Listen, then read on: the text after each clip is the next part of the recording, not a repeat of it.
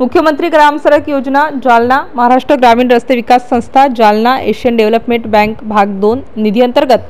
जालना जिल्ह्यातील परतूर तालुक्यातील सोयंजना हातडी ते येणोर अंदाजपत्रकीय किंमत रुपये सहाशे शेहेचाळीस लक्ष या रस्त्याचे खडीकरण डांबरीकरण व मजबूतीकरण करणे या कामाचे उद्घाटन वीस सप्टेंबर रोजी परमार्थ आश्रम गजानन महाराज संस्थान सोयंजना तालुका परतूर जिल्हा जालना येथे राज्याचे मंत्री माजी मंत्री तथा परतूर विधानसभा मतदारसंघाचे विद्यमान आमदार बबनराव लोणीकर यांच्या शुभ हस्ते संपन्न झाले.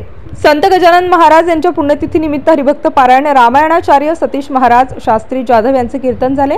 कीर्तन सोहळ्याचे आयोजन प्रतिवर्षी परमार्थ आश्रम गजानन महाराज संस्थान सोयंजना तालुका परतूर येथे होत असते. गेल्या वर्षीच्या कीर्तन सोहळ्यात माजी मंत्री आमदार बबनराव लोणीकर यांनी सोयंजना येथील नागरिकांना सोयंजना हातडी ते एनोरा रस्त्याचे मजबूतीकरण खडीकरण व डांबरीकरण करून देण्याचे आश्वासन दिले होते.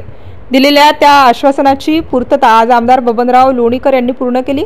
यावेळी परमार्थ आश्रमचे प्रमुख श्रीनिवास महाराज रमेशराव भापकर बद्रीनाथ ढवळे अशोकराव बुरकुले सुरेशराव सोळंके संपतराव टकले शिवाजीराव पाईकवार हे मान्यवर प्रामुख्याने उपस्थित होते. एम सी एन न्यूज मराठीकरिता राजकुमार कांगणे जालना.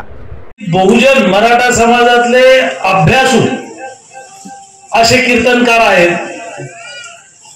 पोट तिरकीनं त्यांनी आपल्याला या ठिकाणी कीर्तनाच्या माध्यमातून अमृतवाणीने मार्ग दाखवला आहे दिशा दाखवली आहे. त्या दिशेनं जावं अशा प्रकारचं त्यांनी त्यांच्या अमृतवाणीनं या ठिकाणी सांगितलेलं आहे. पण हल्ली हिंदू धर्माचं होतं का? एवढे कीर्तन होतात भागवत होतात रामायण होतात. धार्मिक कार्यक्रम होतात. खूप मोठ्या प्रमाणावर देशभरामध्ये प्रबोधन होतं. आपण इकडच्या कानानं ऐकतो आणि इकडच्या कानानं सोडून देतो. मग गणपतीची मिरवणूक असेल छत्रपती शिवाजी महाराजांची मिरवणूक असेल राष्ट्रपुरुषांची जयंती असेल असे जे काही कार्यक्रम होतात कार्यक्रमामध्ये अर्धे निम्मे लोक काय चाललं ते शुद्धीवर नसतात. मात्र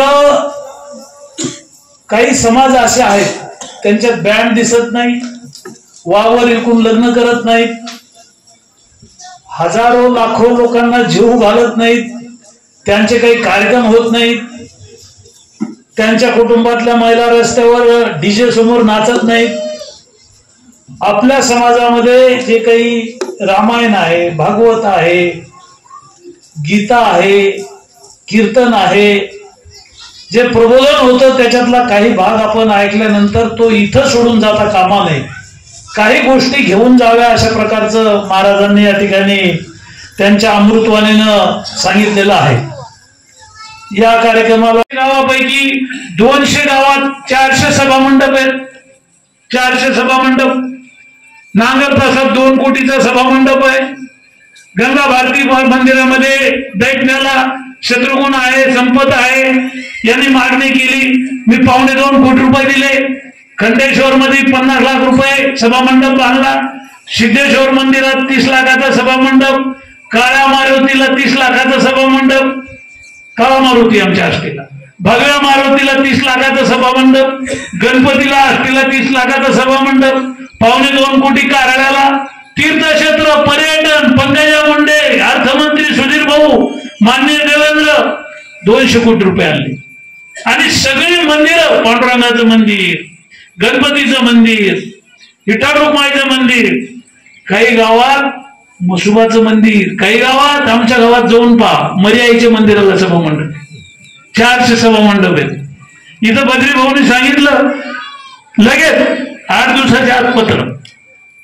म्हणजे ज्या देवानं आपल्याला या सिंहासनावर बसवलेलं आहे तिथं प्रामाणिकपणे इमानदारीनं काम करण्याची राजकीय लोकांची इच्छाशक्ती असली पाहिजे. नाहीतर निवडून तर बेमान लोकांनाही देता तुम्ही.